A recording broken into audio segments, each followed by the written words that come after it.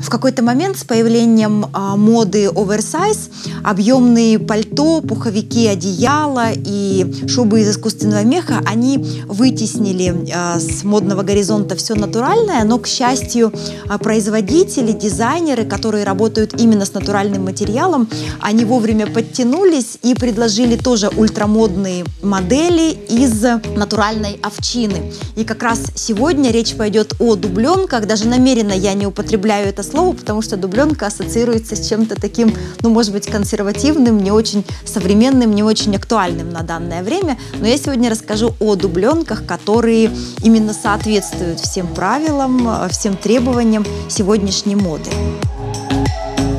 Как и все прочие предметы верхней одежды, дубленки отличаются друг от друга не только фасоном и цветом, но и материалом, а точнее сырьем, из которого они создаются. И сегодня я расскажу именно об этом.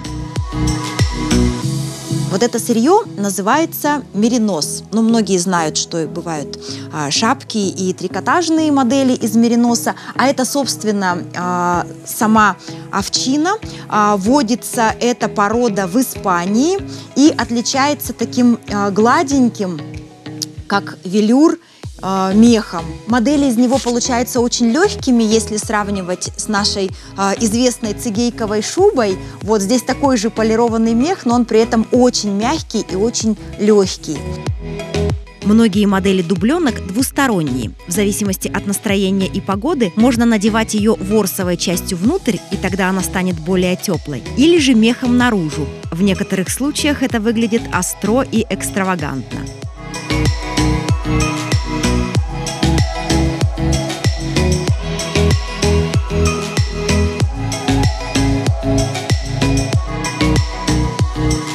Может быть, э, помнит кто-то такое название, как пропитка?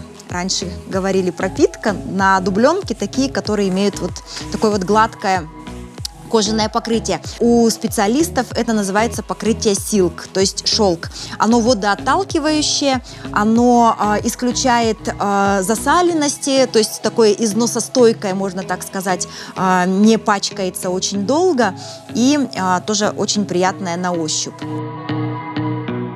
Шкуры, из которых шьют дубленки, могут быть окрашены в любые оттенки и даже принты. Это сырье называется тоскана, тонкорунная тоскана. Это порода а, козочек, названная в честь известного региона а, в Италии, потому что именно там водится, а, правильным воздухом дышит, правильную водичку пьет и правильно питается, и потому получается такой вот она легкой, тонкой и пушистой. А в этой модели мех комбинированный. Основа это тоскана – а вот эта аппликация выполненная из меха керли. О нем пойдет речь далее. Сырье для керли родом из Южной Монголии, где выращивают овец редкой породы колган. Для таких моделей отбираются шкурки только молодых ягнят. Густой, сильно вьющийся мех с завитком очень хорошо держит тепло.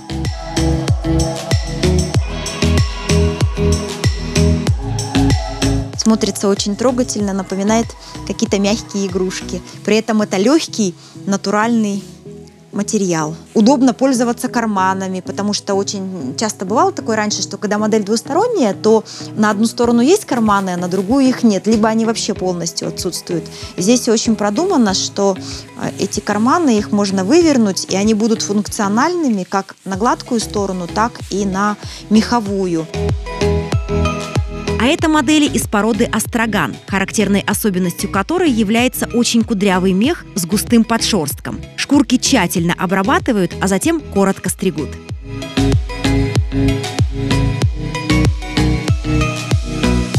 Что касается дизайнов, то на сегодняшний день производители предлагают э, все самые популярные модели верхней одежды. Это куртка авиатор, парка, пальто оверсайз и, конечно же, хит сезона – куртка-рубашка или пальто-рубашка. thank you